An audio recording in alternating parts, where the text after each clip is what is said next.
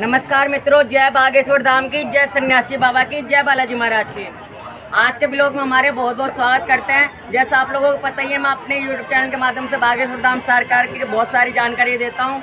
और ललितपुर की जो कथा है बागेश्वर धाम सरकार के अगले महीने में जो होने वाली थी, वो रद्द कर दी गई है महाराज जी के द्वारा।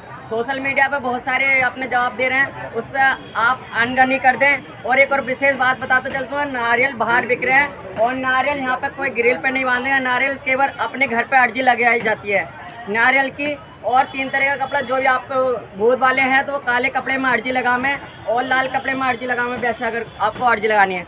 एक एक बात और विशेष बात बताता चलता हूँ। जैसे महाराज जी ने कहा है दुख में सुमिरन, दुख में सुमिरन सब करे, सुख में करे ना कोई। सुख में सुमिरन जो करे तो दुख का ही कोई। बागेश्वर धाम सरकार ने खुद ही कहा है और उन्होंने कहा है कि जो राम का नहीं, वो किसी काम का नहीं। मन के हारे हारे मन के जीते जीत। मन ही मिलावत राम से, मन ही करते फजीत। आज दिव्य दरबार का जो कल अद्भुत नज़ारा रहेगा, आप देख सकते हैं। कल ही आपको एक विशेष बात बताते चले, इस पिंडाल के अंदर एक लाख के करीब जनसंख्या लोग भगत हो चुके हैं। और आज भी पिंडाल के आपको दिखाते चलेंगे आगे जब आपको दिखाते चलेंगे पिंडाल के जो भक्त लोग यहाँ पे आए हुए हैं। काफ़ी सारे दो तीन हज़ार करीब अभी पिंडाल के अंदर है और पाँच सौ लोग